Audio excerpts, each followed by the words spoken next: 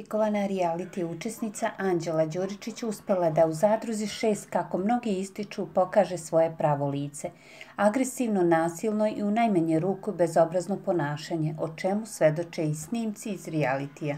Međutim, sada su fanovi odlučili da totalno unište Anđelu, te su u samo nekoliko kadrova prikazali da je ona htela samo da bude kopija Dalile Dragojević. Na jednom Instagram profilu pojavio se snimak u kom Anđela govori o Dalili i njenim postupcima iz prošle sezone, a potom su se nizali kadrovi kako kopirala iste rečenice, ista histerična ponašanja, a ispod ovog videa su se nizali komentari. Dalila, idol Anđeli i Aleksandri. Ovo je bolesno koliko žele da budu ona. Iste scene, možda je i idol i Tara Simo, bili su samo neki od komentara.